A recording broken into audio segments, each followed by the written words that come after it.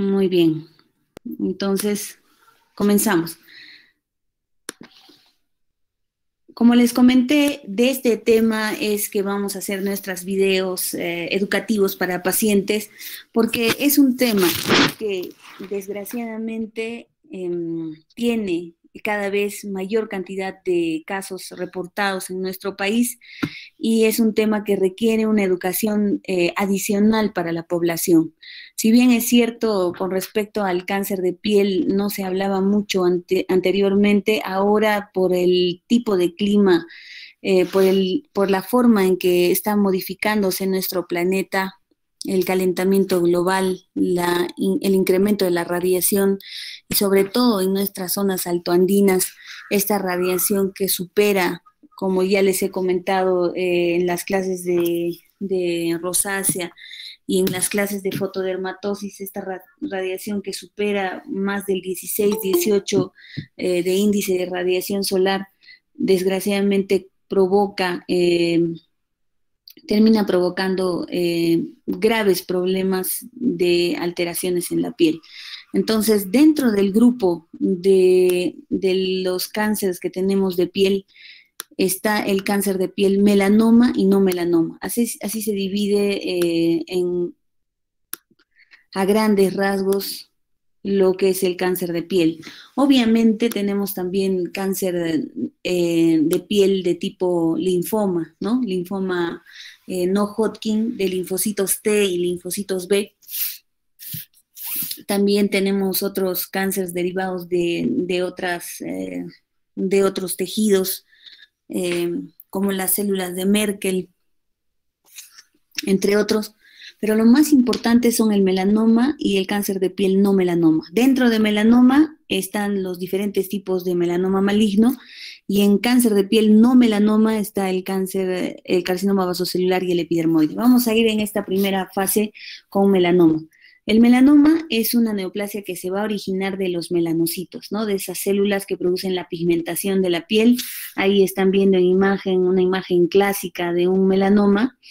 Eh, este es un melanoma lentiginoso, eh, es obviamente derivado de estas células que producen pigmento y su característica principal está justamente en que es una lesión que suele estar, ser pigmentada, ¿no?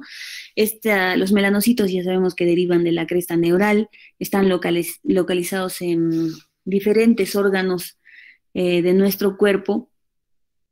Su localización más frecuente obviamente es en la piel, donde van a darle color a nuestra, a nuestra piel. También podemos encontrarlo en mucosas, en fosas nasales y ganglios linfáticos. El melanoma maligno es de lejos el tumor más agresivo de cáncer. Es, tiene una alta letalidad, es muy invasivo y con una muy mala respuesta a los tratamientos sistémicos. Por eso es que tiene alta mortalidad.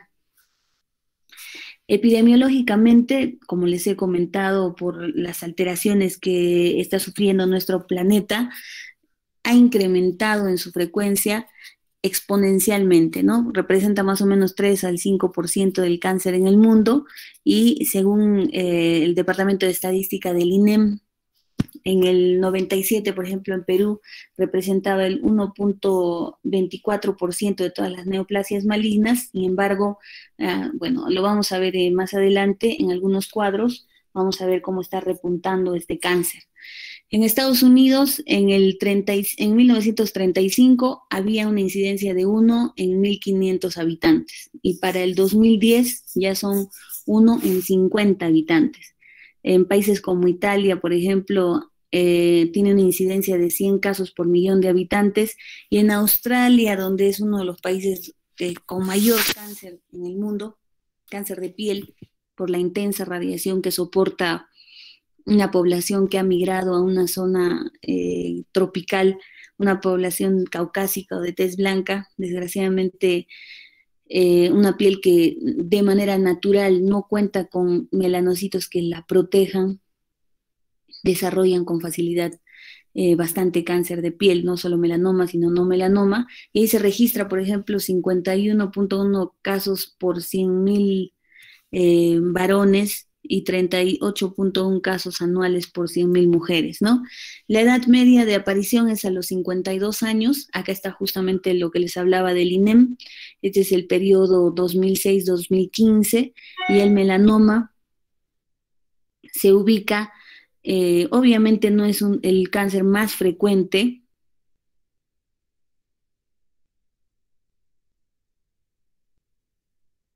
no es el cáncer, de, eh, mm, el cáncer en general más frecuente en nuestro país. Definitivamente, como les comentaba en la mañana a vuestros compañeros de práctica, el cáncer de cervix ha sido hasta el quinquenio 2000, hasta del 2006 al 2015, uno de los cánceres más frecuentes en nuestro país, seguido del cáncer de mama, luego viene el cáncer de estómago. Em, los cánceres de piel no melanoma, miren dónde están ubicados en el sexto lugar. Y en el lugar número 21 está el cáncer tipo melanoma, ¿no? Desgraciadamente, a pesar de que no es tan frecuente, tiene alta mortalidad. Es un, diagnóstico que eh, preocupa porque una vez que se da, tiene muy, mala, muy mal pronóstico, ¿no? Alta mortalidad. Entonces, acá hay otros estudios en general en Perú, del 2002 al 2004, eh, este se ha hecho en el Instituto Nacional de Enfermedades Neoplásicas. Y lo interesante de este estudio es lo diferente que es la epidemiología del melanoma en el Perú de la epidemiología de melanoma en el mundo, ¿no? Nosotros tenemos el cáncer de piel tipo melanoma en la región acral, en miembros inferiores. Miren, la frecuencia eh, según localización dice que en el Perú tenemos más cáncer de piel eh, tipo melanoma en miembros inferiores y el seguido de miembros superiores, tronco, cabeza y cuello. En, aquí en este estudio del Hospital Militar Central del, 2000, del, 90 del 85 al 2007, también hablan de la incidencia del melanoma y ellos también coinciden en que dentro de los tipos de melanoma, el lentiginoso acral, o sea, el, de, el que está en miembros inferiores, en los pies, es el de mayor frecuencia en el Perú.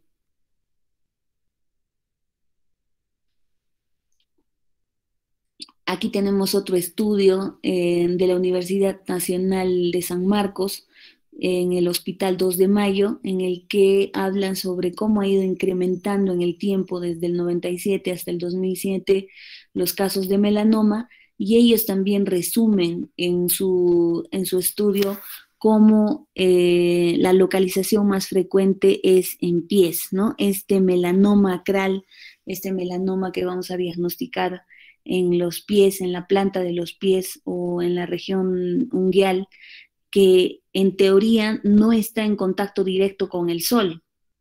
¿Y por qué se da este fenómeno? ¿Por qué hay más cáncer de piel en los pies del paciente peruano, altoandino o de la población latinoamericana? Porque tenemos, eh, nosotros somos portadores de un gen que es el C-KIT, que se detecta en esos pacientes con cáncer de piel tipo melanoma, mientras que en la población caucásica, en la población caucásica, o sea, en la población blanca, eh, el gen que portan ellos es el BRAF, que les va a incrementar los casos de cáncer de piel tipo melanoma en regiones de rostro, es el cáncer de piel, cáncer de melanoma superficial, ¿no? De tipo superficial y ese está directamente relacionado con la radiación solar en el caso de ellos y en el caso de nuestro está eh, directamente relacionado con esa predisposición genética.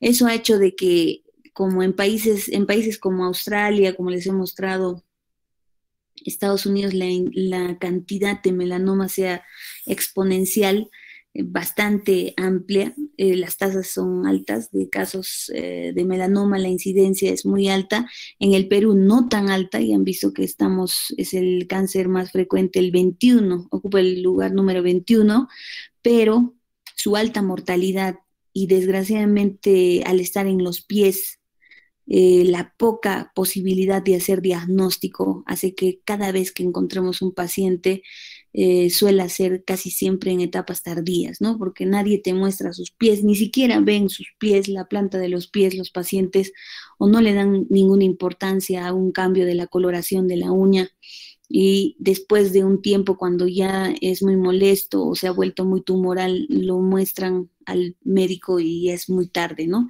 Entonces son todos estos detalles lo que hace que debamos tomar conciencia de que este cáncer eh, se tiene que eh, eh, estudiar ahora, ustedes lo van a leer junto conmigo, y que se tiene que difundir toda una campaña de prevención, que es lo que vamos a hacer con ustedes en estas semanas.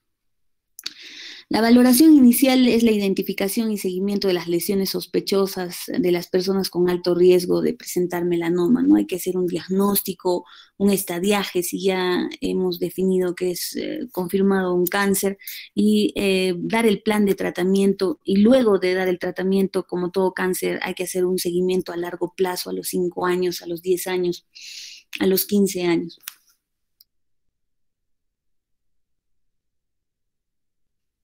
Dentro de los factores de riesgo definitivamente está la radiación solar, lo que estábamos hablando hace un momento, eh, las quemaduras solares, la exposición continua em, y crónica a la radiación solar, la fenotipia de los pacientes. Desgraciadamente este cáncer es frecuente, como les digo, en la piel clara, sobre todo de la gente blanca o de fototipos Fitzpatrick 2, 1, 2, 3, que se expongan a la radiación solar que tengan ojos azules, ojos verdes, esa parte, por ejemplo, a nosotros pues casi no tenemos, ¿no? Pero lo que tenemos es una alta incidencia de este cáncer, como les he dicho, en la zona acral. Eh, y como les he comentado nuevamente, con mucha pena, con muy mal pronóstico, por porque llegan muy tarde los pacientes, ¿no? Y debe haber dentro de los factores de riesgo un antecedente familiar, puede haber un antecedente melanoma,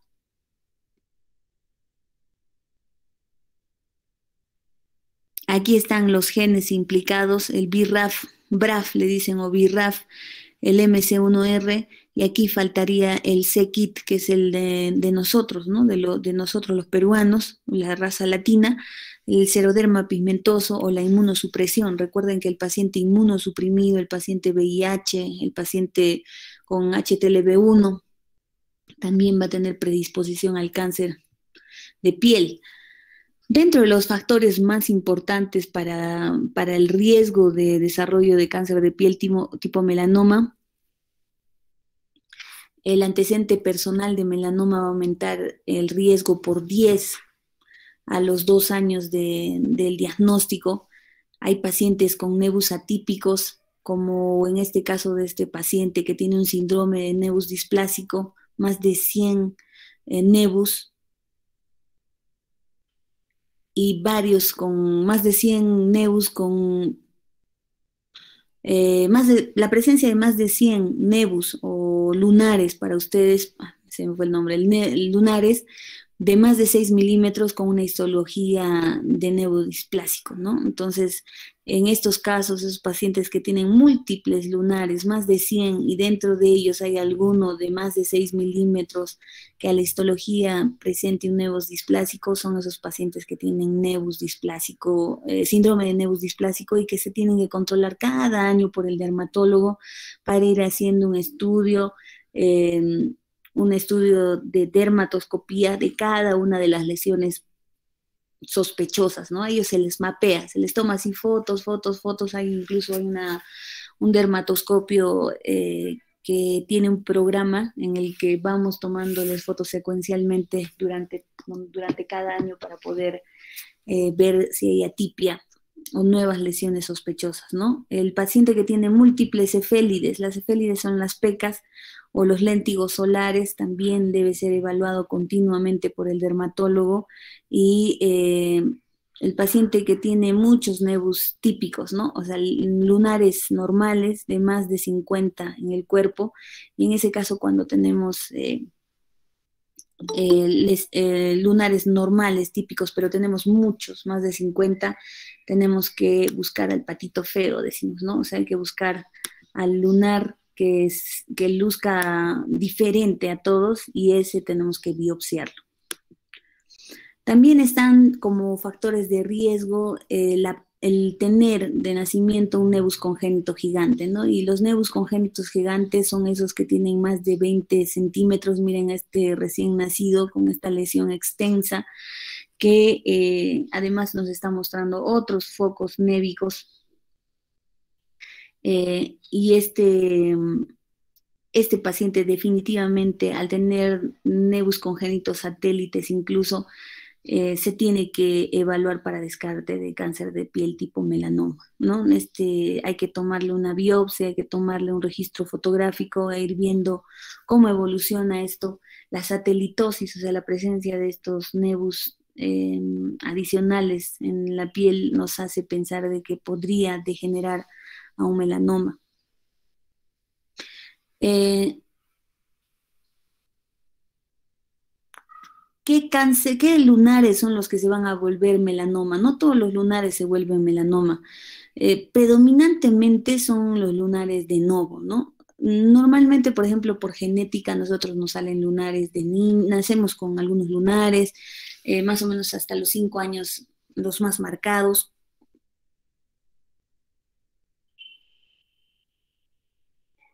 Por la estimulación hormonal durante la adolescencia, eh, durante el proceso de nuestra adolescencia también eh, desarrollamos eh, más lunares, se forman. ¿Me escuchan? Hola. Sí, doctora. Sí, doctora. Sí, doctora. Muy bien. durante nuestra adolescencia formamos uno que otro lunar más pero si de nuevo, o sea, en piel sana, de pronto nos aparece un lunar cuando ya tenemos 40, 50 años, ese lunar definitivamente hay que ir vigilándolo con, con una cámara fotográfica para ir viendo su evolución, ¿no? Porque los melanomas aparecen de nuevo casi no aparecen en un lunar de un paciente, por ejemplo, un niño que tenga un lunar y que en el tiempo va creciendo un poco junto con él, normalmente ese no se maligniza, ¿no? Entonces son los lunares de novo que empiezan a aparecer a partir de los 40, 50 años que nos tienen que alarmar sobre todo, ¿no? la mayor incidencia son en esos lunares de novo, pero los lunares que ya tenemos originalmente desde nacidos, congénitos, que son chiquititos, no estos congénitos gigantes de más de 20 centímetros, sino los pequeños no suelen malignizarse, aunque todos, todos deben ser evaluados, ¿no? Ya hemos dicho que el paciente eh, Fitzpatrick 1, 2, 3 y 4 de ojos claros eh, es el que, 1, 2 y 3, que es, el que más riesgo tiene de desarrollar melanoma, y el antecedente familiar de melanoma en primer grado, además de, eh, nos va a hablar sobre el factor genético de predisposición, ¿no? Ya les he hablado que hay un tema genético muy importante en el paciente caucásico, europeo, americano, lo que encuentran más es el BRAP y no tanto el CKIT, mientras que en nuestras zonas, eh, en nuestro país, el melanoma maligno, ahí van a ver todo el tiempo que hay MM, melanoma maligno, acral, el que está justamente en zonas acrales de los brazos, de las manos y de los pies, sobre todo en los pies, se va a deber a una mutación del CKIT que les comenté hasta un 40% de los casos y ese es el que más tenemos en nuestro país. Entonces, eh, hay que tomar en cuenta esa, esa, carga genética de predisposición y finalmente llegamos a lo clásico, ¿no? A lo que siempre se habla cuando se hacen esas campañas de lunar, en nuestro hospital también, el Hospital Lorena, en Lima también. Hay un día específico que le decimos el día de lunar en febrero, en que todos los dermatólogos damos consulta gratuita para ver los lunares de nuestros pacientes, justamente para evitar tener diagnóstico tardío de melanoma, ¿no? ¿Y qué es lo que hacemos? Pues hacemos el diagnóstico clínico a través del famoso ABCDE, ¿no? La asimetría, los bordes irregulares, eh, la la falta de homogeneidad en el color o diferentes tonos de marrón o negro en, el lunar, un diámetro mayor de 6 milímetros y una evolución en el tiempo que nos está hablando de una lesión que está creciendo progresivamente. Además, falta aquí el F que corresponde al tema de familiar, ¿no? El antecedente familiar que ya hemos hablado, que es muy importante. Entonces aquí estamos viendo en esta imagen claramente cómo podríamos diferenciar a, grandes rasgos, ¿no? Ustedes como médicos generales, obviamente, si no tienen un dermatoscopio, si, si no tienen eh, la posibilidad de hacer biopsia, sí van a tener la posibilidad de ver una lesión que el paciente por la que él pregunte y diga, doctor, mire, tengo un lunar que me parece que está creciendo, está cambiando, o me duele, me pica, me molesta, o mire, mi hijito tiene este lunar, quiero saber si es bueno o malo y ustedes a simple vista con una lupa eh, simple podrían determinar si tiene algún factor de riesgo para que ustedes lo deriven a dermatología y se proceda con la biopsia y el diagnóstico definitivo. ¿Qué tienen que hacer? Primero, ver la simetría del lunar, ¿no? O sea, un nebus benigno, un lunar benigno siempre va a ser simétrico, como una pelotita, ¿no? Como un ojalito. Eh, del lado izquierdo y el, si uno parte por la mitad la lesión, el lado izquierdo y el lado derecho van a ser iguales, mientras que en el eh, melanoma maligno nunca van a coincidir los dos lados, no van a ser iguales ni en forma, ni en color, ni en tamaño. Los bordes regulares del nebus eh, típico benigno eh, también nos hace pensar en benignidad, mientras que en el melanoma los bordes son completamente irregulares, en un lado son más marcados, en otro lado se pierde la, eh, la diferenciación entre piel sana y piel afectada, ¿no? O sea, no es un lunar en el que tú puedas decir, aquí está la piel sana y aquí está la piel este, con eh, pigmento, ¿no? ¿no? No se ve eh, con claridad los bordes en algunas áreas. El color definitivamente en un lunar normal, por más blanco que sea el paciente, como en este caso que vemos un nebus eh, marrón claro, suele, suele ser casi homogéneo, ¿no? O sea, la variación en el color es mínima, mientras que en el cáncer de piel tipo melanoma, claramente se ven varios patrones de colores, ¿no? Miren aquí un poco más rojo, un poco marrón, marrón claro, marrón oscuro, marrón claro, marrón oscuro, marrón claro, marrón oscuro, e incluso hay un, velo aquí este, blanquecino en el medio, ¿no? Entonces hay muchos colores en la lesión y eso tiene que llamarnos la atención. El tamaño, obviamente, hay lunares genéticos que son más de 6 milímetros, pero por, para, para poder alertar de manera temprana al paciente, justamente cuando refiere que está creciendo, si vemos un lunar de más de 6 milímetros, también va a ser eh, indicación para eh, estudio dermatológico, ¿no?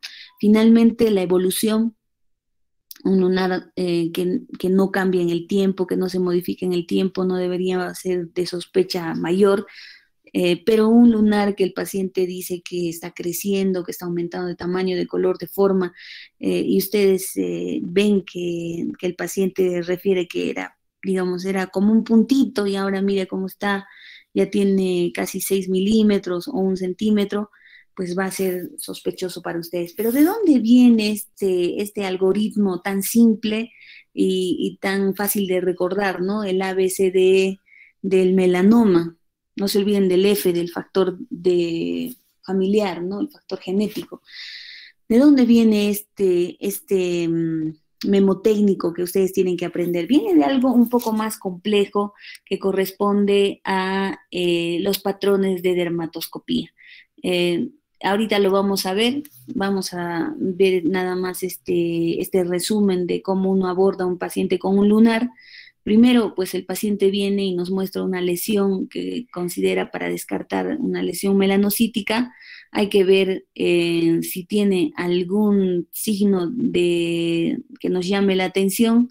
Si sí tiene, eh, entonces hacemos, eh, evaluamos mediante la BCDE, podemos evaluar mediante otros patrones como la, el de siete puntos, el de tres puntos, el método de Mencien, que es lo que vamos a ver ahorita, Mencies.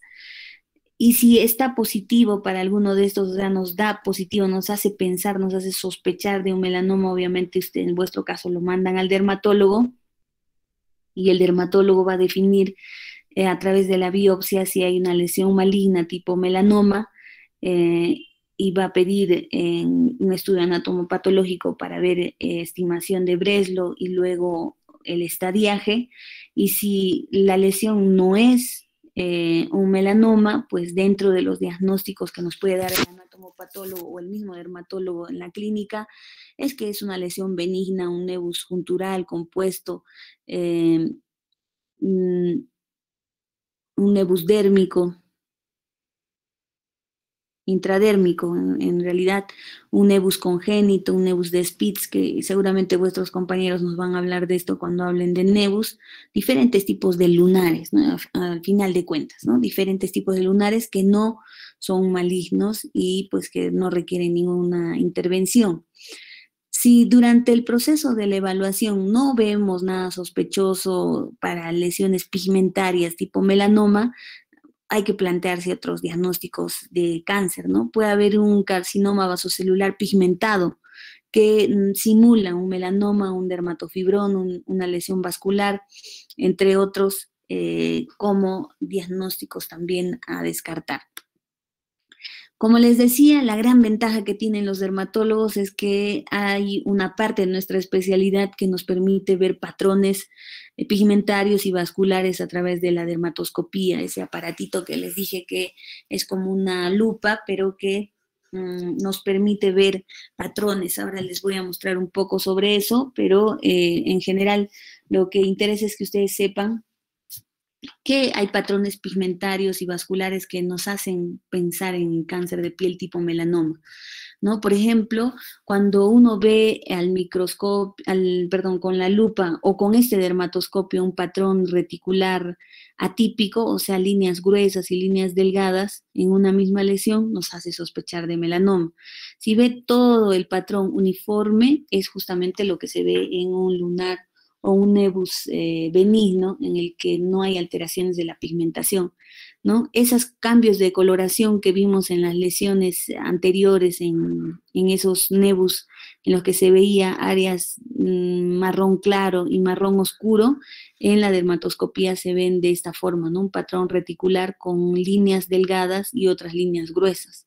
También se pueden ver glóbulos eh, atípicos, o sea, diferentes tipos de colores en una misma lesión nébica, mientras que el paciente benigno tiene el mismo color, ¿no? El color es uniforme, homogéneo.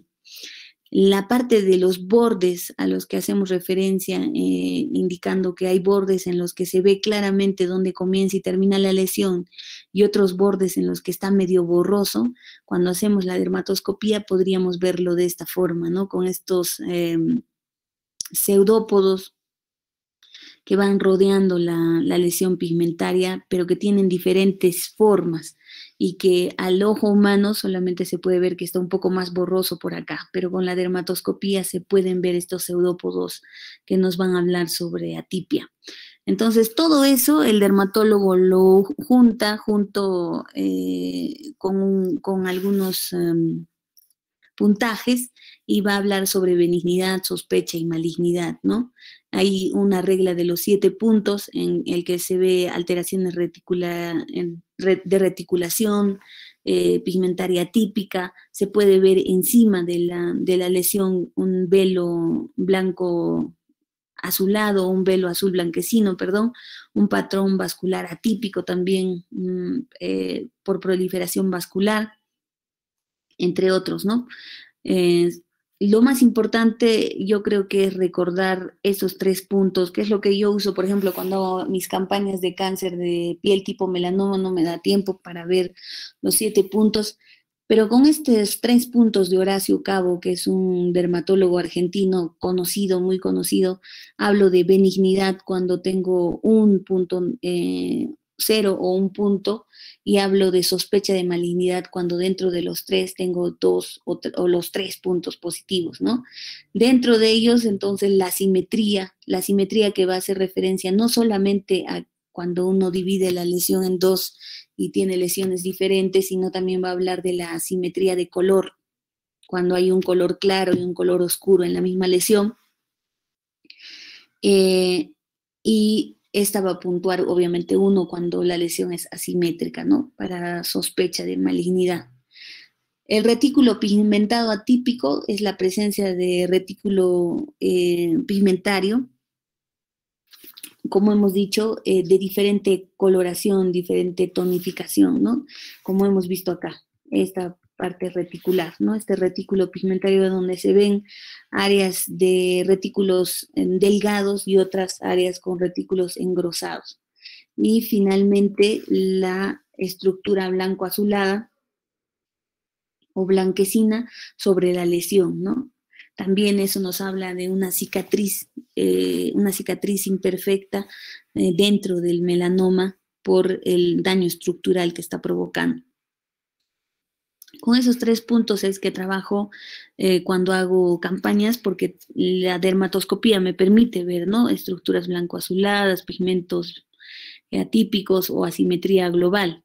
Acá miren esta esta lesión de la izquierda, como es desimétrica en su forma, ¿no? Porque si uno le hace el corte a la mitad, el izquierdo y el derecho son iguales, como es desimétrica también en, la coloración, el color uniforme, eh, mientras que la del lado, uno hace el corte y evidencia pues que el lado izquierdo es muy diferente al derecho, el lado derecho es, eh, tiene una forma mucho más estrecha, obviamente hay una alteración en el color, Miren cómo los bordes también eh, mejor definidos en el lado derecho y en el lado izquierdo medios difusos. Y una cicatriz medio blanco azulada en, la mitad que nos hace sospechar grandemente de, melanoma, ¿no? Pero esta es la simetría de, la que habla el ABCD, ¿no? Eh, la simetría en la forma, la, la simetría eh, en lo que son bordes, el color asimétrico también hay que tomarlo en cuenta. Entonces, de ahí, de todas estas reglas, de todos estos patrones dermatoscópicos es que deriva el ABCD E y F que ustedes ya conocen y que están obligados a, realizar en todo paciente que les solicite una evaluación. ¿no? Miren en la dermatoscopía, cómo se puede ver esa simetría de color, ¿no? Un color marrón claro aquí, un color marrón oscuro aquí, con áreas de pigmentación, pseudópodos, ¿no? Esas extensiones raras en la superficie de la lesión que nos habla de un crecimiento progresivo de la lesión. Aquí también se ve, obviamente, a ver, partan esto a la mitad, obviamente este lado izquierdo es muy diferente del lado derecho, ahí tendríamos la simetría, Luego tendríamos los bordes, miren, mal definidos, ¿no? Acá se ven bien definidos y aquí deslucen, como que están ahí saliendo unas pequeñas tiritas que corresponderían a esos pseudópodos que hemos visto en, patrón. Luego tenemos el color, evidentemente hay aquí una pigmentación oscura y aquí una pigmentación más clara, e incluso este velo blanco azulado eh, que también nos habla sobre malignidad, ¿no? Eh, tenemos el D, que es el diámetro, habría que ver eh, acá si hay un diámetro mayor de 6 milímetros.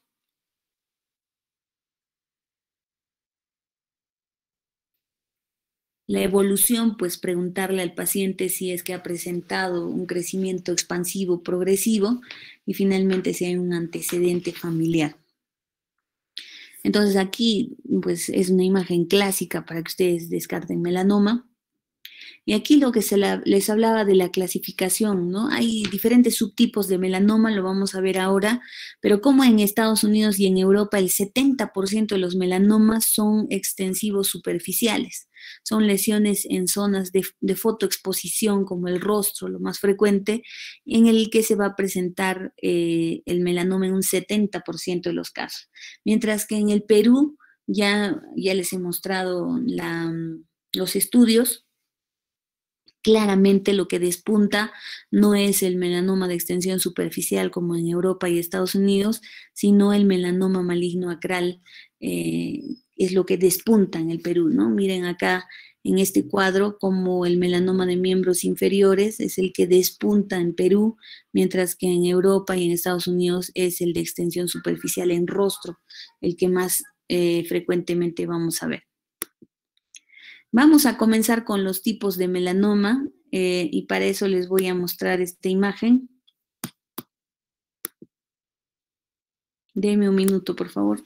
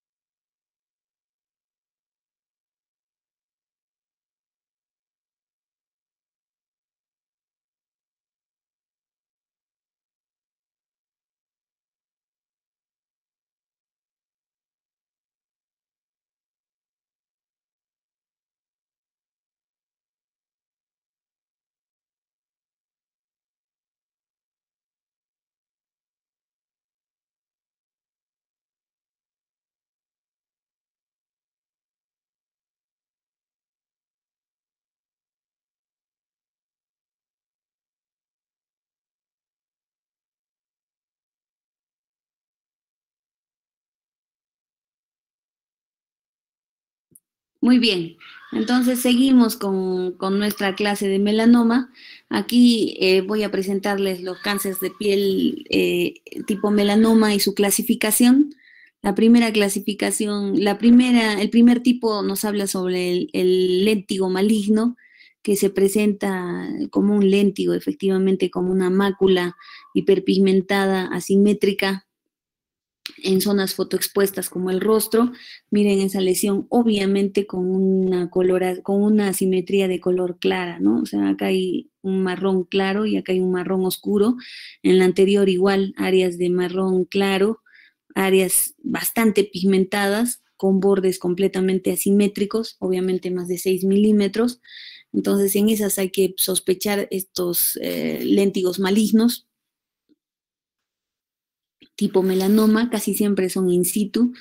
Em, es el de mejor pronóstico porque son muy superficiales, casi siempre uno los retira y, se acabó el problema, ¿no? Cuando uno los diagnostica en corto tiempo, aparece entre la sexta y la octava década de la vida y casi siempre relacionados a la exposición acumulada de sol, ¿no? Son pacientes que han recibido mucha radiación solar. Miren este léntigo melanoma maligno, obviamente completamente asimétrico, hagan el corte a la mitad, completamente asimétrico, estos estas lesiones pigmentarias marcadas en, algunas áreas y otras zonas de pigmentación eh, más clara.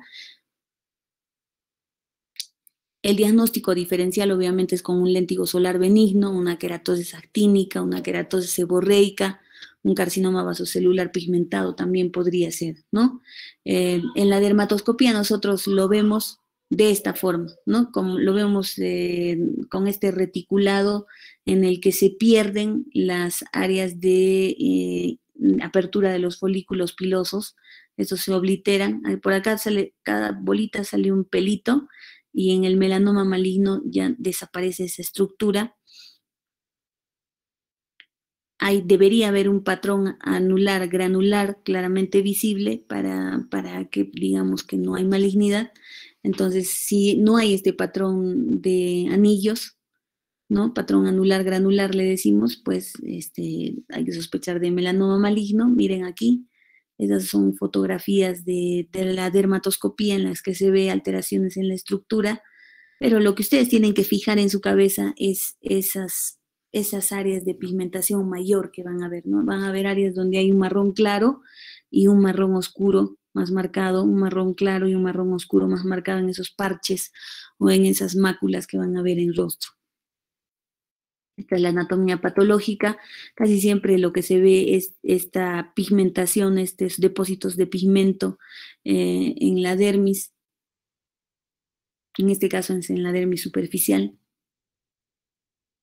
Es lo que más se ve. Y luego tenemos el melanoma maligno de extensión superficial. Este es por la exposición intermitente al sol y este es el más frecuente para la gente de raza blanca, ¿no? Esos, eh, esas lesiones que son mm, con una pigmentación mucho más intensa, ¿no? Y que se van a presentar eh, asimétricos, miren nuevamente, asimétricos, uno se corta a la mitad diferente a la izquierda que a la derecha, con obviamente asimetría de los bordes también, una alteración en los bordes y asimetría de color, porque aquí tenemos color marrón claro y marrón oscuro, ¿no? Es, tiene mal pronóstico, eh, la edad media de vida de presentación es entre los 40 y 50 años, suele aparecer en zonas de fotoexpuestas, de espalda, eh, piernas, en mujeres, en zonas tropicales.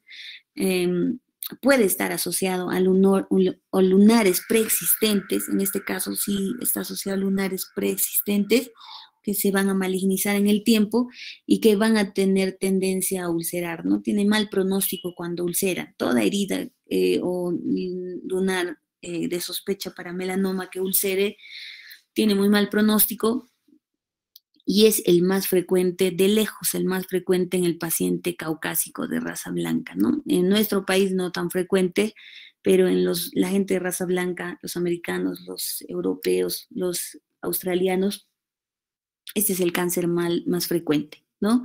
Entonces, su diagnóstico diferencial con los nebus atípicos o lunares atípicos, lunares comunes, que era todo seborreica y el carcinoma vasocelular pigmentado. Aquí se puede ver como en la dermatoscopía nosotros vemos estas eh, pseudópodos de extensión, cómo se ven ¿no? el crecimiento de, la pigmentación y la asimetría, ¿no? Ya ven cómo es esta lesión asimétrica con áreas marrón clara, marrón oscura, áreas de regresión, le decimos cuando al medio está color piel, y áreas de mayor intensidad de pigmentación, ¿no? Y un velo eh, blanco encima, eh, mostrándonos una cicatriz, ¿no? Y esto es lo que se ve, ¿no? Más fotografías como para que fijen ustedes cómo se ve un melanoma, ¿no? La simetría, los bordes irregulares con estos pseudópodos, con estas áreas más claras y otras más oscuras, y el velo azul eh, blanquecino como una cicatriz encima de la lesión.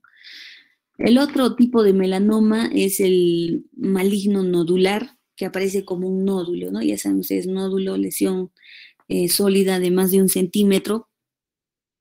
En estos casos son nódulos más superficiales, casi tumorales. Estas lesiones cuando son de más de dos centímetros es el de peor pronóstico en la raza blanca, o sea, cuando veo una lesión nodular tumoral eh, dependiendo del tamaño de crecimiento exofítico que no respeta planos, pues es el de peor pronóstico en la raza blanca. Así se ve en la dermatoscopía y así se ve cómo está invadiendo ¿no? el nódulo hasta tejido celular subcutáneo. Finalmente llegamos al melanoma lentiginoso acral, que es lo que nos, nos convoca ahora, porque eso es lo que tenemos que fijar eh, dentro de los conceptos de, cáncer de piel tipo melanoma, esto es lo que más hay en nuestro país, ¿no? Es lo que desgraciadamente más vemos, obviamente un parche hiperpigmentado, asimétrico completamente, uno hace el corte a la mitad y obviamente hay una asimetría y eh, de bordes eh, mal definidos, miren cómo se pierde aquí el borde y cómo está bien definido acá, no todas las áreas están definidas de los bordes, colores asimétricamente eh, de diferentes colores, ¿no? Acá hay un marrón claro, un marrón un poco más oscuro, un negro, un negro intenso. Eh, el diámetro obviamente mayor de 6 milímetros. Esto obviamente evolucionado en el tiempo poco a poco ha ido creciendo y eh, bueno, tal vez tenga un antecedente familiar, ¿no? Entonces, este es el melanoma lentiginoso acral, lo que más se ve, se puede ver en uñas también, eh, cerca del área de las uñas como en este en que se ha perdido ya la pieza, eh, la placa ungueal y se puede apreciar como hay un signo de Hutchinson, ¿no? Ya lo hemos visto con todos ustedes en las prácticas.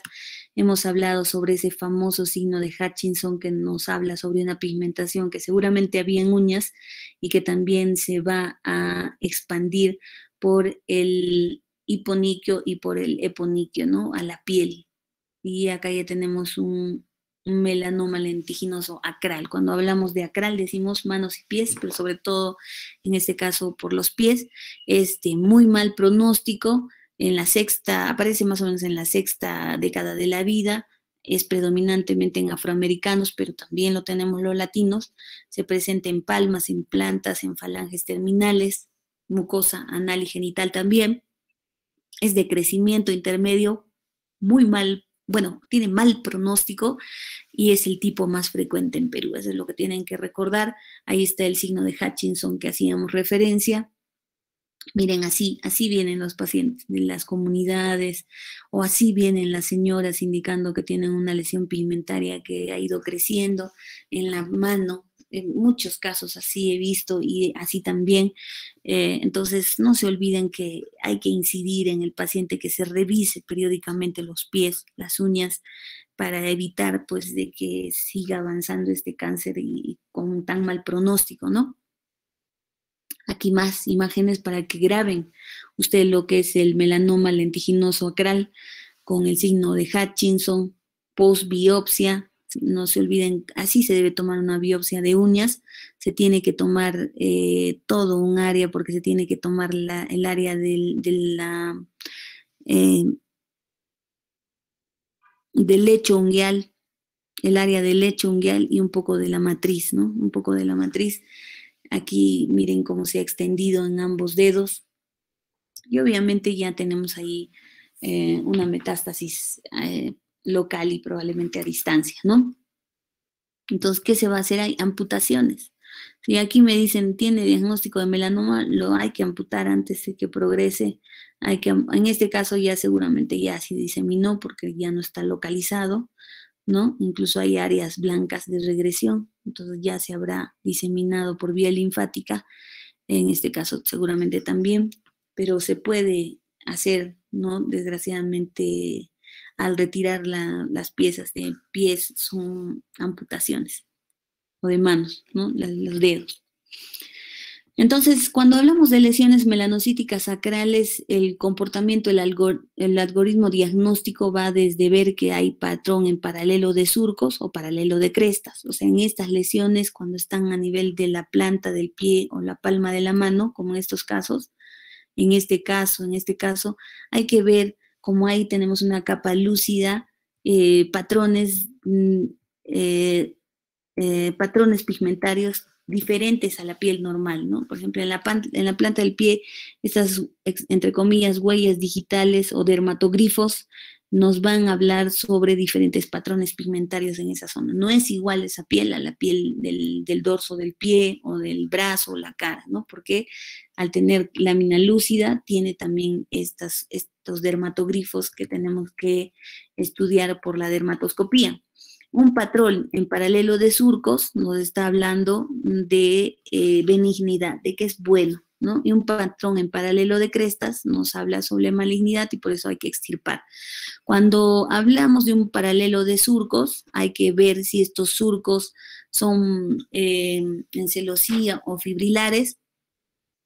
¿Qué quiere decir eso? Que son lineecitas todas continuas en los surquitos y todo está bien, pero cuando hablamos de patrones medio raros que nos llaman la atención y además es una lesión de más de 7 milímetros, ya no 6, sino 7 milímetros de diámetro, también hay que extirparlos, ¿no? Por esa, esa alta mortalidad que tiene, mejor es hacer una biopsia exéresis, o sea, retirar toda la lesión eh, y mandar la anatomía patológica. Entonces, ¿qué significa eso que les estoy diciendo de paralelo de surcos, paralelo de crestas y todo eso? Aquí lo vamos a ver. ¿no? Esos son patrones gráficos de, eso, pero no lo van a entender muy bien. Pero cuando hablamos de malignidad, hablamos de paralelo de crestas. ¿Qué quiere decir eso? Que las crestas, las que están hacia arriba, están pigmentadas. Y los surcos, que son estas líneas blancas de acá, no lo están. Entonces, cuando hay paralelo de crestas, o sea, las zonas elevadas del dermatogrifo, de la huella digital, son las que están pigmentadas, ahí hablamos de malignidad. Y cuando lo que está pigmentado es la línea entre estas dos crestas, hablamos de paralelo de surcos y ahí hablamos de benignidad. Acá lo vamos a ver más claramente. Aquí, por ejemplo, en el patrón de lesiones melanocíticas sacrales benignas, se ven los surcos, ya también las líneas mismas están pigmentadas hasta doblemente, ¿no? Las mismas líneas están pigmentadas, las mismas líneas están pigmentadas con algunos puntos de crecimiento, seguro es un adolescente. Cuando las lineecitas profundas están pigmentadas, es un lunar buenito. Pero cuando las lineecitas profundas, miren las líneas profundas, no están pigmentadas, sino es la cresta, o sea, la que está elevada, la que está pigmentada, como en el caso anterior, cuando está pigmentada la cresta, ahí hablamos de malignidad. Entonces, aquí, este lado de aquí, las, las, um, imágenes grandes, todas son paralelos de surcos, o sea, en las líneas profundas, y habla de una lesión buenita. Pero si tenemos una lesión pigmentaria eh, con eh, pigmento en la cresta, o sea, en la parte de arriba o elevada, ahí sí hablamos de malignidad. Miren entonces cómo se ve a la dermatoscopía una lesión maligna con ese paralelo de crestas, ¿no? Y obviamente toda esta simetría. Entonces, cuando se evalúa al paciente con cáncer, tiene uno que ver eh, los diferentes factores pronósticos. El principal, el espesor del tumor, o sea, hasta dónde llega, cuál es la profundidad. Y eso nos, nos va a dar el índice de Breslow. Ese índice de, Breslow nos habla eh, sobre 1, 0, más de 1, más de 2, más de 3, más de 4 y más de 5, según la profundidad, y ahí mide más o menos en, según el, área que se está tomando, ¿no? 0 obviamente es epidermis, este, más de 1 cuando ya tocó la dermis, más de 2 cuando ya tocó, eh, perdón, más de 1 cuando tocó la epidermis únicamente y no sobrepasa la membrana basal, más de dos cuando ya pasó la membrana basal y está entrando a dermis superficial, número tres cuando ya está prácticamente en toda la dermis superficial, número cuatro cuando ya superó toda la dermis superficial y profunda, y número cinco cuando ya está en tejido celular subcutáneo, ¿no? Esa alteración más o menos descrita de esa forma es el índice de Breslow, eh, la ulceración también da mal pronóstico, ya le he dicho, si está ulcerado es de peor pronóstico. El índice mitótico, que corresponde a la mitosis.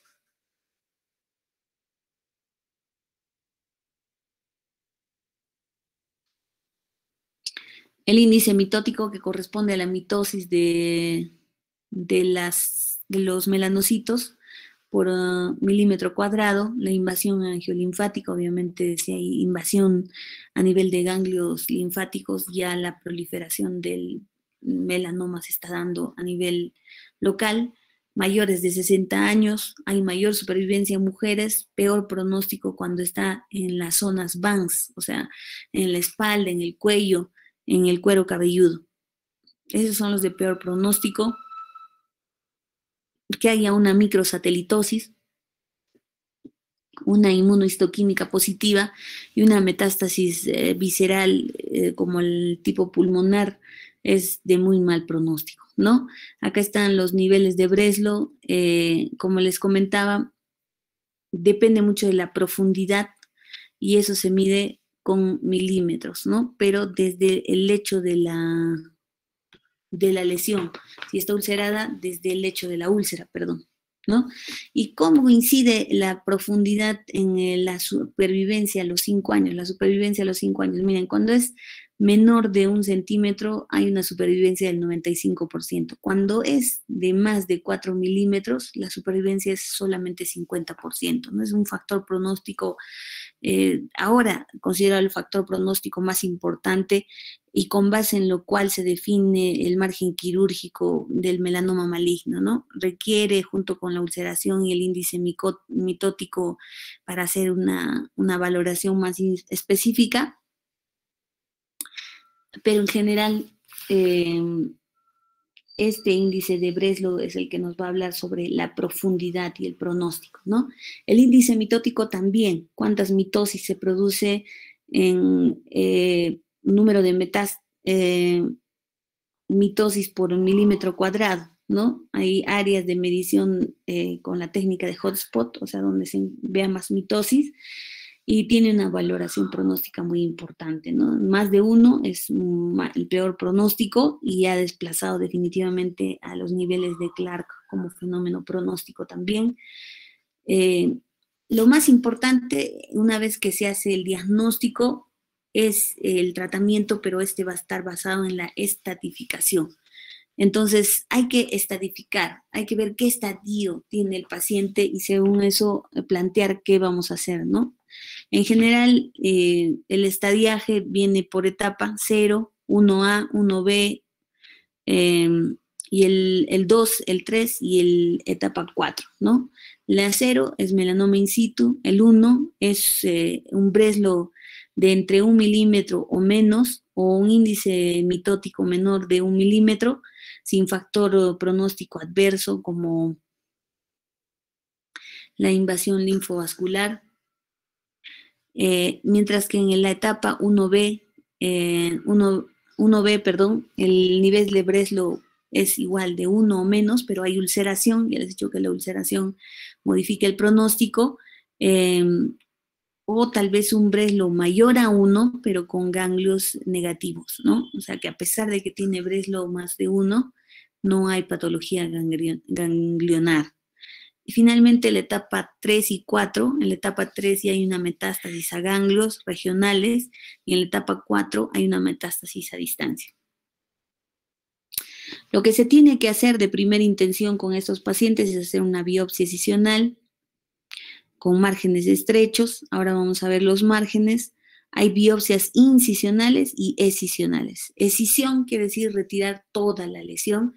Incisión, biopsia incisional es retirar una partecita de la lesión. Por ejemplo, aquí toda la lesión es maligna. Si hiciéramos una biopsia escisional, retiramos todo, una incisión quirúrgica con bordes, eh, con margen de seguridad, mientras que una biopsia incisional es lo que ven acá, que de toda la lesión sacas un pedacito, de toda la lesión sacas un pedacito para hacer una confirmación diagnóstica y tal vez si es extenso, pues pasarlo al oncólogo para que le haga el estadiaje y el manejo, ¿no? Em, entonces, eh, desgraciadamente, el estadio 3 ya nos habla, habla de compromiso ganglionar, pero el estadio 4 nos habla sobre metástasis a distancia, ¿no? Entonces vean estas imágenes de metástasis de melanoma, el principal órgano al que se dirigen por la ubicación normalmente del mismo melanoma es a nivel pulmonar, seguido de nivel abdominal y de eh, el nivel craneal.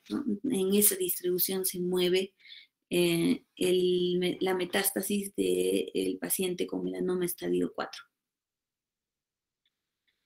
Bueno, hay diferentes estudios que se debe hacer, sobre todo a partir del estadio 3, ya se puede hacer un PET scan, que es lo estándar en el mundo. En el mundo todo lo que es cáncer ya se ve, se le pasa al paciente con esta tomografía con emisión de positrones que nos va a permitir ver claramente áreas de mayor eh, actividad mitótica y así detectar metástasis.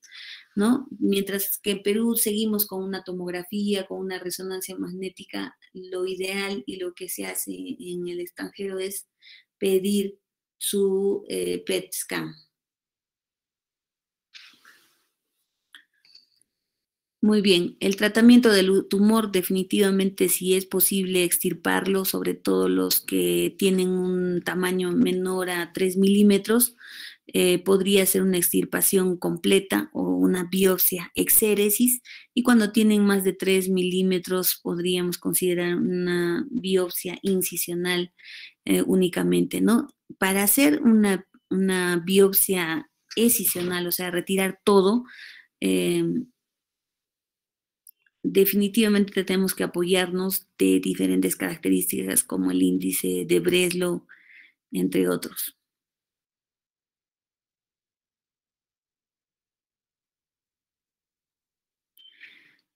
Dentro de los márgenes quirúrgicos, eh, acuérdense de este cuadro que está en rojo para eh, la extirpación, ¿no? Vamos a retirar un melanoma. Estamos sospechando de un melanoma y como es pequeñito, lo vamos a retirar de una vez todo. ¿Cómo lo retiramos? Pues si estamos en sala, lo que tenemos que ver es si hay un, un melanoma in situ, máximo un centímetro.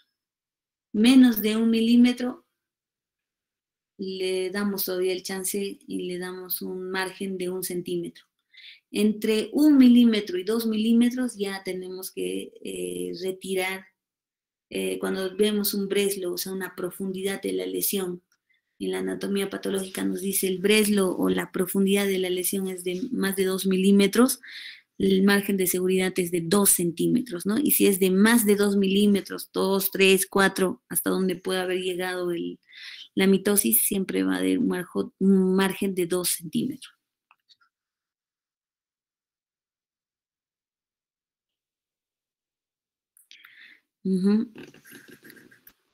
Entonces, menos de, un, de 1 a 2 milímetros.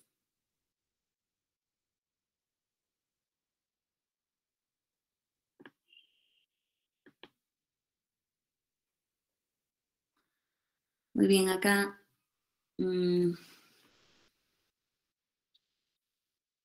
nuevamente, según esta guía del National Comprehensive Cancer Network, eh, lo mismo, ¿no? Los márgenes cuando tenemos una tumoración de una profundidad de más de 1 a 2 milímetros, se tiene que dar un margen de seguridad de 1 a 2 centímetros. Y lo hace grande, ¿no? Por eso es que se hace en sala, porque tenemos que hacer colgajos. Entonces, aquí vamos a ver una revisión de lo que es el National Comprehensive Cancer Network.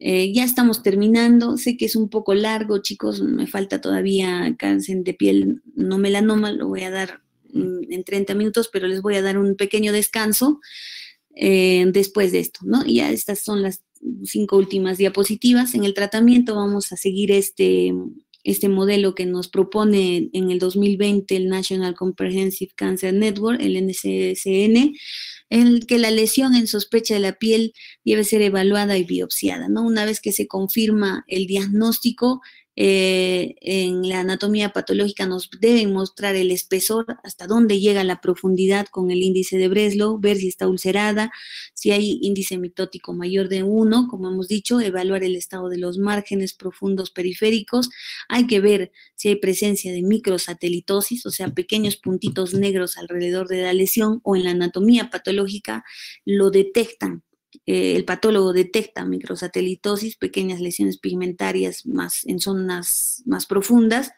em, invasión linfovascular y angiolinfática también, ¿no? En los vasitos, si puede haber una proliferación y según eso uno define el estadiaje y qué es lo que tiene que hacer eh, ante la sospecha de eh, metástasis a ganglios regionales, si vamos a hacer un drenaje linfático o completar exámenes eh, de laboratorio.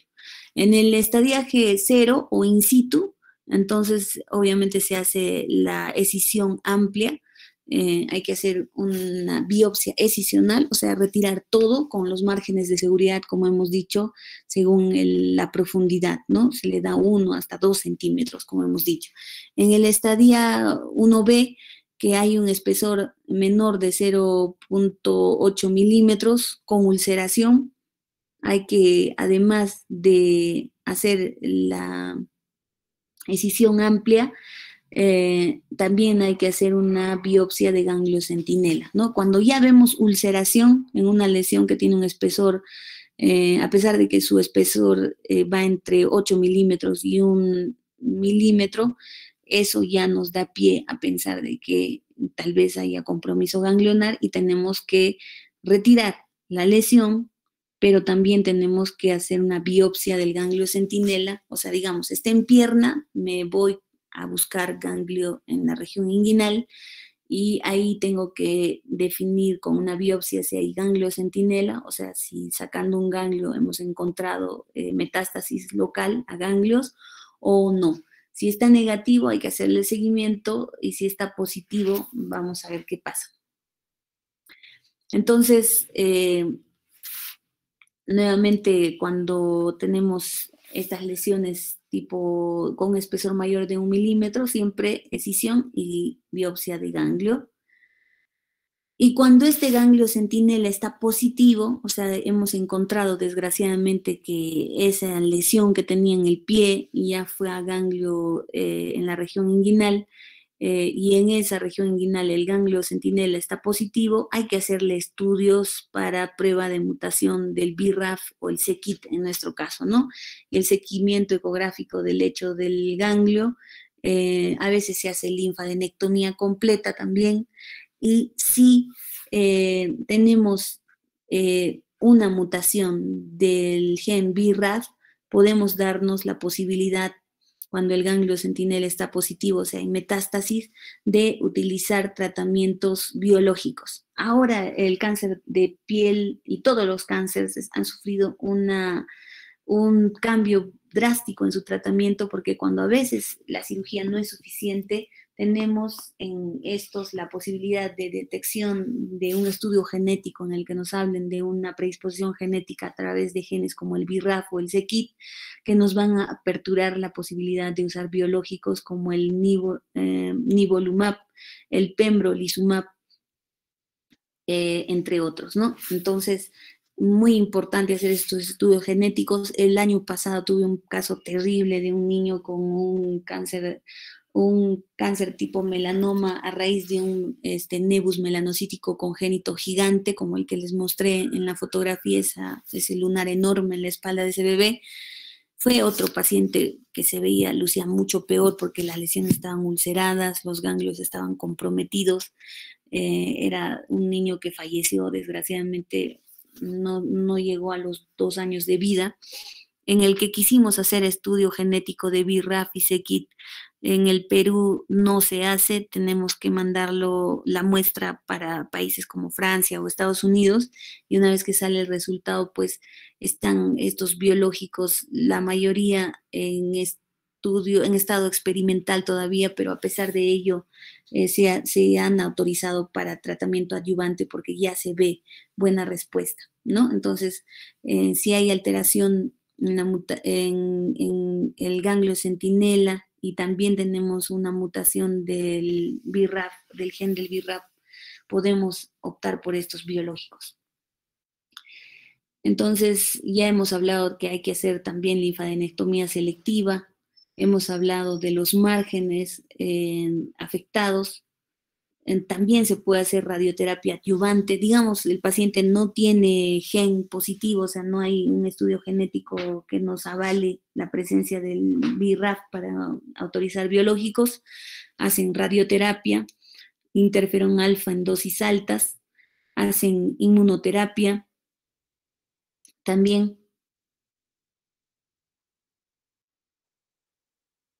inmunoterapia y dentro de la inmunoterapia tenemos eh, los antiprogrammed cell eh, death protein, el PD1, con, eh, y estos anti-PD1 como el pembrolizumab y el nivolumab también son muy, muy alentadores en el manejo del paciente con melanoma eh, con metástasis ganglionar o metástasis a distancia, ¿no? Pero todo esto es nuevo, es nuevo, es del 2000, desde el 2018 los estudios, ahora recién están saliendo mejores estudios en el 2019-20 y ya se ha animado el NSCN, o sea, el National... Eh, ahí se me fue, el National Comprehensive Cancer Network, americano en ponerlo como parte de sus protocolos, ¿no? Los biológicos, como les digo, eh, van a ser parte, ya se quedan como parte de los tratamientos para cáncer metastásico. Si no hay, puede hacer radioterapia paliativa y desgraciadamente en esos pacientes en estadio 4 con metástasis a distancia avanzada, en el que hay ausencia de, de mutación genética, ya el tratamiento solamente es sintomático, ¿no? Para apoyo nada más. Entonces hay que buscar un diagnóstico precoz, hay que, hay que promover la autoexploración, hay que dar tratamiento rápido y agresivo en las primeras estadios, en el estadio in situ, hay que hacer luego de dar el tratamiento un monitoreo continuo cada tres, cada seis meses durante los dos primeros años y después cada tres meses, cada doce meses durante tres años, ¿no? O sea, hay que ir eh, hay, que, hay que manejar a estos pacientes con, mucho cuidado por, la gran mortalidad que tienen y también hay que tratar a sus familiares, ¿no? Porque ya hemos visto que hay un patrón genético que se puede repetir, entonces si trato al paciente, desfilarán por mi consultorio todos sus familiares para poder evaluarlos también. Eso sería básicamente lo que es melanoma y nos vamos a dar un descanso de cinco minutos para eh, comenzar con lo que es cáncer de piel no melanoma. Vamos a darnos cinco minutos, tomen agüita y nos vemos.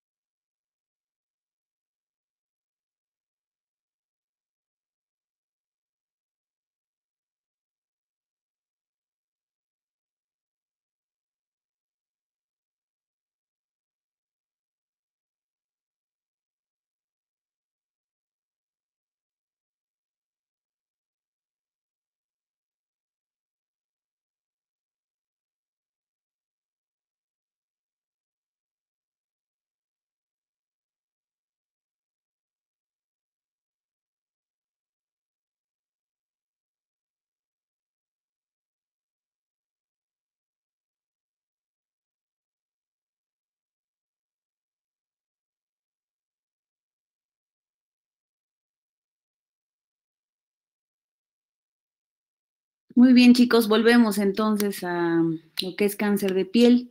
Vamos a iniciar nuevamente la grabación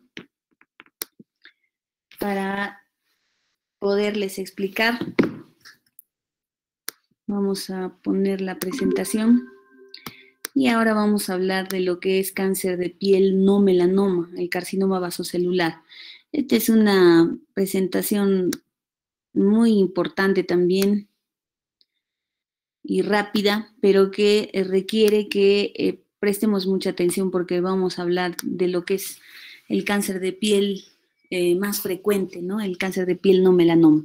Dentro de este grupo está el carcinoma vasocelular y el carcinoma epidermoide. Vamos a ver, este cáncer es considerado el más frecuente en la raza blanca, es endémico en realidad en la raza blanca podemos tener carcinomas vasocelulares y epidermoides como los que estamos viendo, estas lesiones ulceradas que no cicatrizan más de tres meses en pacientes adultos mayores deben ser sospechosas de cáncer de piel no melanoma.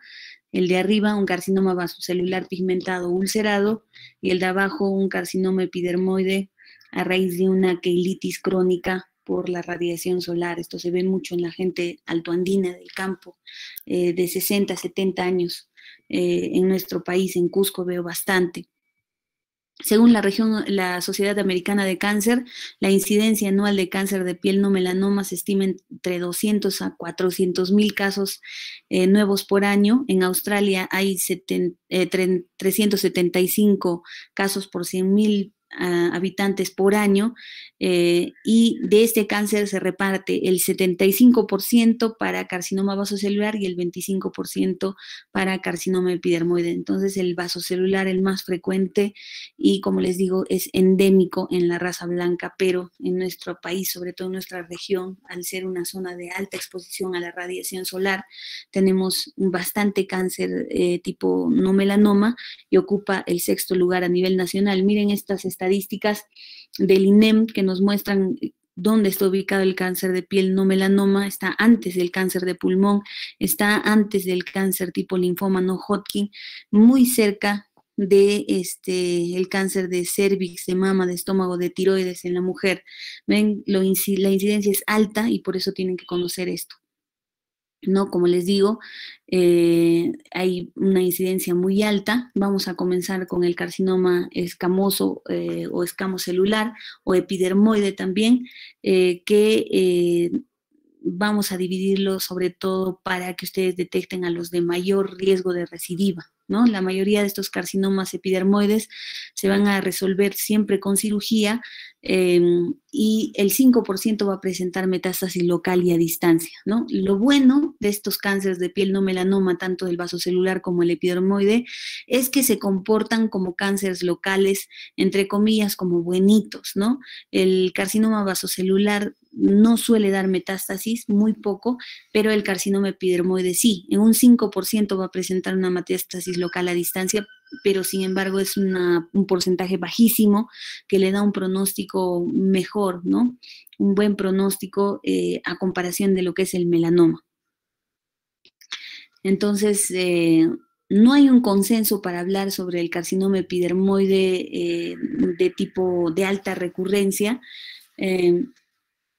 pero hay factores, 12 eh, factores de alto riesgo que vamos a ir evaluando, entre ellos que la tumoración tenga más de 2 centímetros, le aumente el riesgo y aquí vamos a leer algunos detalles de esa, de esa clasificación, ¿no? Que estén en el área L, estas son las áreas de, del rostro en las que podemos ver eh, dónde hay mayor riesgo, o sea, dónde la lesión puede mm, hacer mayor metástasis y mayor daño, es en el área H. Miren, el área H corresponde a toda esta zona roja que incluye los ojos, la nariz y parte de la boca, porque cuando realizamos además eh, cirugías en estas áreas vamos a provocar deformaciones que pueden alterar el funcionamiento del rostro, pero además porque son bastante altas en metástasis hacia otras zonas porque son áreas bastante bien vascularizadas, ¿no? Entonces, según esas áreas es que se define eh, el alto riesgo de, de, de em, de recidiva de estos cánceres y lo que nos va a definir cuál va a ser su tratamiento, ¿no? En el área L, o sea, en esta área eh, del, rostro que no, que corresponde a tronco, a extremidades, a manos y a pies, cuando tiene más de 2 centímetros se considera de alto riesgo. En el área M, que correspondería a las mejillas, este área es el área M, mejillas, cuello, frente, toda el área, el área pálida eh, y la región pretibial, esas áreas es de menor riesgo.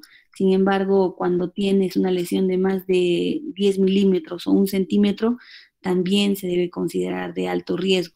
Y el de alto riesgo, el de principal alto riesgo, mayor riesgo es el área H, en el que solo con tener eh, una lesión en esa zona, no importa el tamaño, solo con que esté en esta zona H que les digo, no importa el tamaño nuevamente, ya son de alto riesgo, ¿no? Y esos de alto riesgo van a requerir un manejo más, eh, más agresivo, obviamente eh, a través de la cirugía, ¿no? Entonces, aquí también se, acude al índice de Breslow que hablábamos sobre la profundidad de la lesión, porque ya les he dicho que en el carcinoma epidermoide sí hay una metástasis de un 5% hacia otros órganos, ¿no? O local o hacia otros órganos. Entonces, hay que hacer un estudio anatomopatológico y un índice de Breslow que si es mayor de 2 milímetros debe, debe eh, significa un factor predictor de metástasis muy importante, ¿no? Si ya tenemos más de 2 milímetros de, profundidad, ya deberíamos empezar a buscar metástasis. Entonces, si eventualmente tenemos metástasis, podríamos estadificar eh, mediante el TNM, ¿no? Entonces, eh, ya saben ustedes los estadios, em, a partir del estadio 3 tenemos eh, la posibilidad de que haya una metástasis eh, ganglionar local o a distancia y en el estadio 4 ya tendríamos metástasis a distancia. Entonces, eh, cuando uno hace una clasificación clínica y habla de un carcinoma epidermoide in situ, habla sobre el carcinoma epidermoide tipo Bowen tipo eritroplasia de Keirat en la región genital o papulosis bowenoide también en esta misma zona. Eh, esto hace referencia a que en el estudio anatomopatológico la lesión es muy superficial, in situ le vamos a decir cuando esté, cuando esta sea de menos de 0.76 hasta un milímetro en algunas literaturas. Entonces ahí hablamos de enfermedad de Bowen, de Keirat o papulosis bowenoide. Y ya otras formas eh, más especiales como el carcinoma vasocelular tipo verrucoso, que se puede presentar en región oral, genital, plantar, cutánea eh, pura, ¿no? Y finalmente las formas controvertidas que corresponden a la queratosis actínica, eh, queratosis Ah, y el queratoacantoma. Estas son lesiones controvertidas porque en algunos casos las consideran premalignas, la queratosis actínica y el queratoacantoma. En otros casos, desgraciadamente, sobre todo en el queratoacantoma, al hacer la extirpación se encuentra en la base carcinoma epidermoide. Por eso es que son eh, controvertidas. Bueno, entonces el tratamiento para esos carcinomas epidermoides que van a derivar de las células escamosas o de, la capa espinosa de la piel eh, es básicamente la cirugía, ¿no? La cirugía, eh, la, mm, la cirugía convencional o la cirugía de Moss. Ahora vamos a ver lo que es cirugía de Moss cuando hablemos de carcinoma vasocelular, pero como alternativas tenemos la crioterapia, la radioterapia, eh, tratamientos locales para el carcinoma epidermoide in situ como el imikimoto, el 5-fluoracilo o incluso terapia láser eh, tipo eh, terapia láser y terapia fotodinámica, ¿no? Cuando hay un compromiso ganglionar, obviamente hay que hacer un estudio, una biopsia ganglionar y proceder a la extirpación. y también se puede hacer tratamientos radiológicos. Entonces, miren aquí este, esta lesión tipo queratoacantoma, se retiró, pero ya había hecho metástasis al lado y después de unos años el paciente reaparece con una lesión metastásica acá. Entonces, lo importante detectar en la anatomía patológica la profundidad para echarnos a buscar ganglios afectados, ¿no? Si hay más de 2 milímetros de profundidad, en este, este, es el corte, nos vamos a buscar ganglios. En el melanoma era más de 0,8 a más de 1 milímetro de profundidad para echarnos a buscar ganglios. Aquí vemos imágenes de lo que vemos más en Perú, que es el carcinoma epidermoide cutáneo en labio inferior. Esta zona es muy vascularizada y por eso prolifera con gran facilidad, ¿no? Miren cómo puede hacer este carcinoma epidermoide metástasis local y eh, irse a hacer metástasis a distancia, en este caso a eh, sistema nervioso central, ¿no? Eso es del epidermoide. Y ahora nos vamos a carcinoma vasocelular vámonos a carcinoma vasocelular y comenzamos eh, rápidamente con esta parte. El carcinoma vasocelular es definitivamente el tumor cutáneo maligno más frecuente en la raza blanca, ¿no? Es el principal factor etiológico, es el sol, como les he dicho. Eh, se comporta como buenito, es la gran ventaja porque como depende de las células basales, ya les había comentado que el carcinoma epidermoide dependía de las células de la capa espinosa, ¿no? Y el carcinoma vasocelular depende de las células basales, de la capa basal. Por eso es carcinoma vasocelular con B larga y no con B chica, ¿no? Porque no es de vaso sanguíneo, sino es de basal, de células basales. Entonces, eh, casi siempre se limita a lo que es epidermis, no baja dermis, no es como el carcinoma eh, epidermoide que a pesar de que deriva de la capa espinosa que está por encima de la capa basal, es más invasivo y se va a dermis, a tejido celular subcutáneo y puede hacer metástasis a otros órganos, pero solo en un 5%, ¿no? No es un porcentaje alto. El vaso celular, metástasis hace excepcionalmente, como dice ahí, excepcionalmente lo hace y por eso se comporta como un cáncer buenito.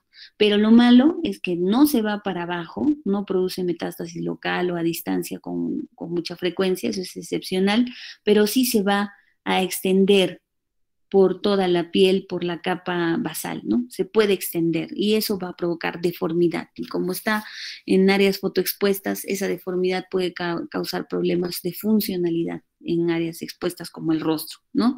Entonces, eh, ya les había dicho que la principal etiología es la radiación solar, por eso es que en el mundo cuando uno hace una evaluación de dónde hay más cáncer, es en la zona de la línea ecuatorial donde nosotros estamos, en el, eh, acá está Perú, aquí está Australia, países eh, en donde hay gente de raza em, de piel caucásica, obviamente hay mayor cantidad, pero desgraciadamente Perú está dentro de los grupos que toleran mayor radiación, ¿no? Entonces, ¿cómo se presenta el carcinoma vasocelular?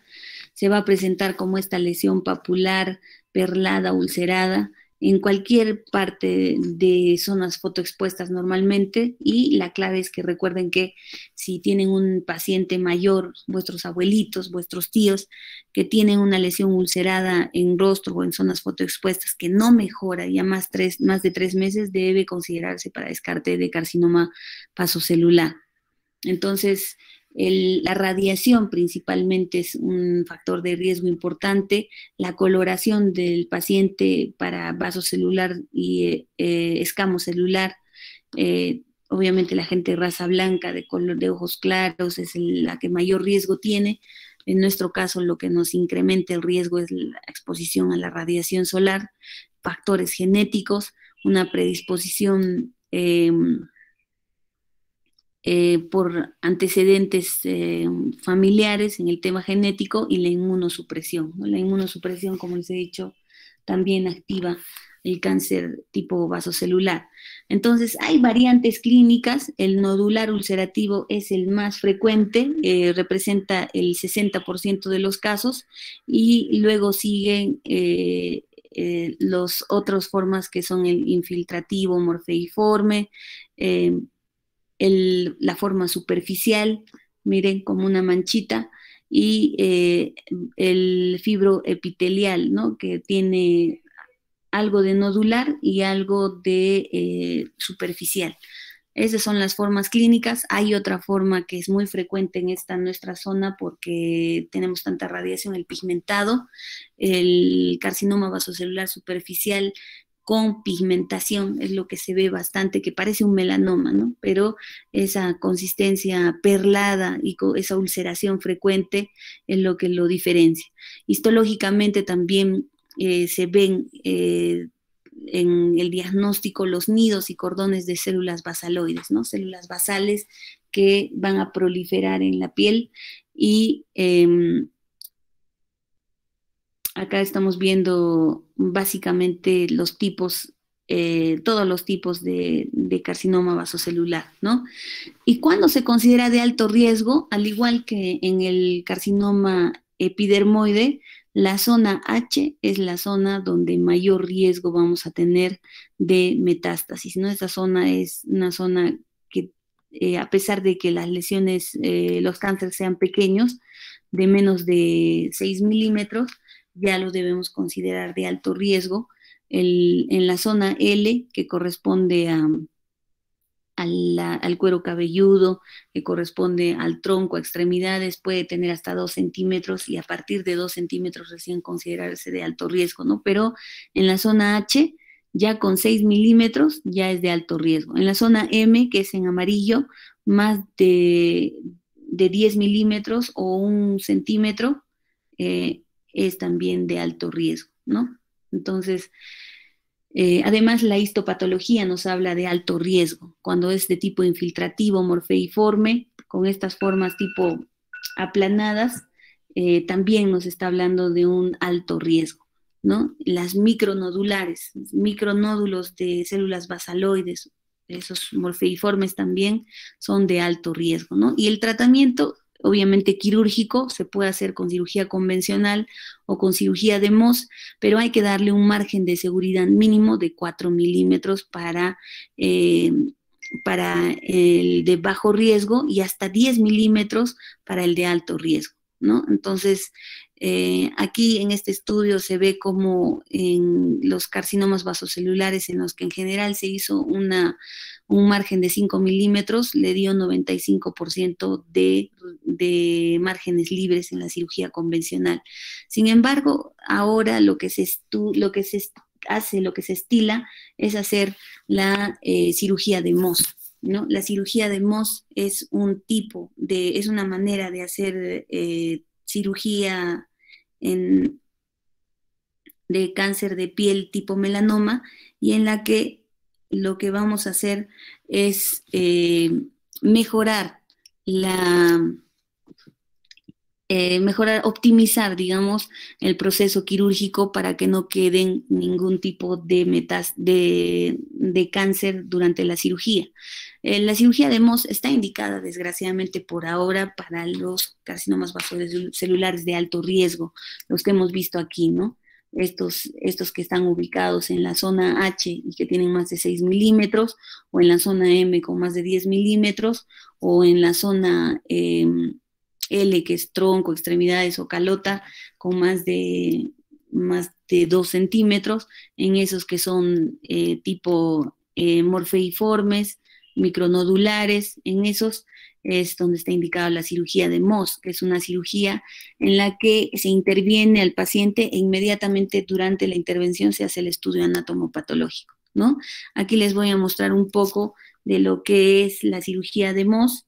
Eh, estas son fotografías de mi rotación en España, les he mostrado antes ya algunos.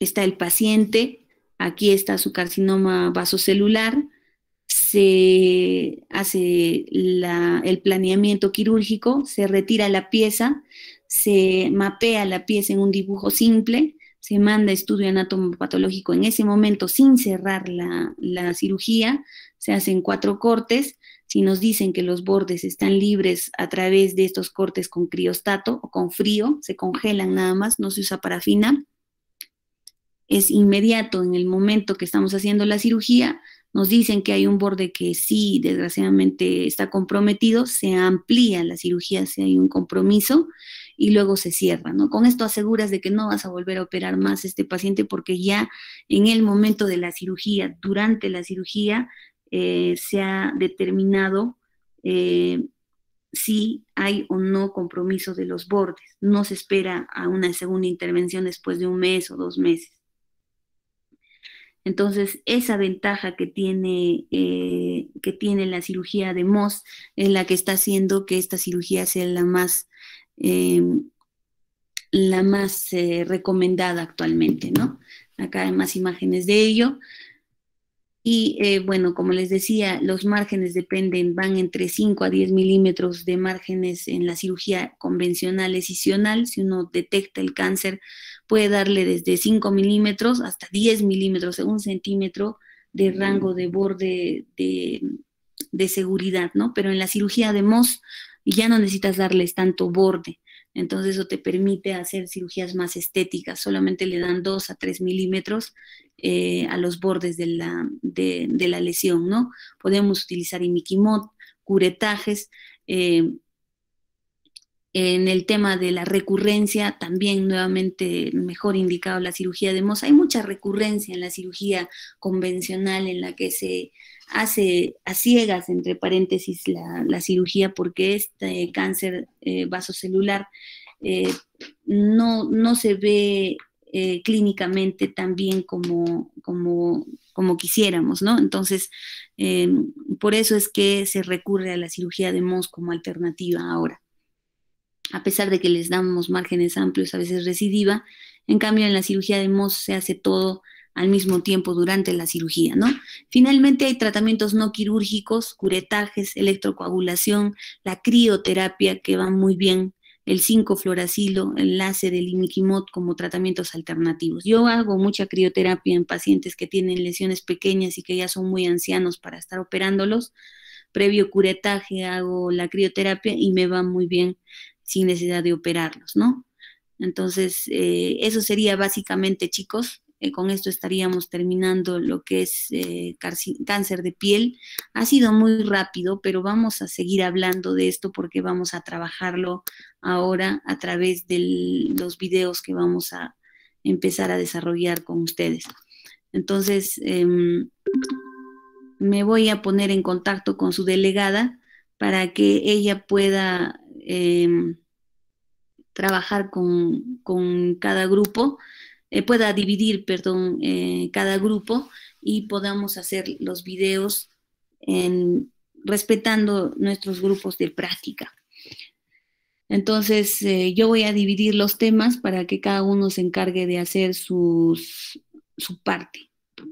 Muy bien, eso sería todo por hoy. nos hemos extendido un poco. Ya sabía que iba a ocurrir esto por la, porque es un tema muy extenso pero eh, como les digo, lo vamos a seguir trabajando. Entonces, eh, lo vamos a volver a ver cuando revisemos vuestras, vuestros videos. Muy bien, buenas tardes, chicos. Doctora, disculpe una consultita, por favor. No sé si nos podría indicar qué parámetros tenemos que considerar para los videos, por favor. Sí, me imagino que tienen ahorita clases y por eso no, lo voy a, decir ahora, pero ya les he mandado ya un ejemplo de, lo que, de lo que han hecho otros compañeros vuestros y voy a hacer una, una rúbrica para, para más o menos quedar esos parámetros y lo voy a poner en nuestro grupo de WhatsApp. Entonces yo me voy a comunicar contigo para este, coordinar eso. No sé si tú tienes tiempo ahora para verlo. Sí, doctora. Ya listo, entonces eh, te llamo en, en unos dos minutos. Está bien, doctora, muchas gracias. Listo, buenas tardes, chicos.